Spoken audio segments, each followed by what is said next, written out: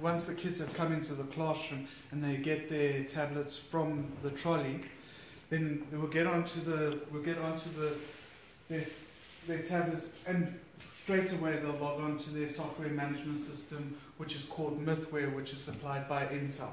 Um, with the Mythware, the learners, the, the teachers have complete access and control and have visibility of what every single learner is able to do on their on their tablets, which is pretty amazing.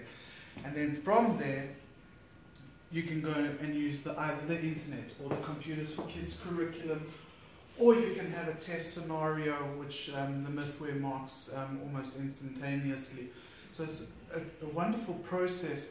And besides do, having your lessons and, and all of those, Intel brings a whole bunch more extra into it as well because you have like peripherals, so you can have magnifying glasses or thermometers in the lessons.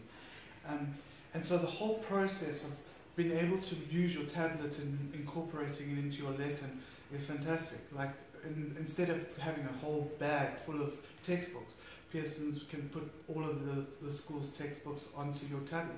So you don't have to bring paper and pens, and you don't have to have homework diaries.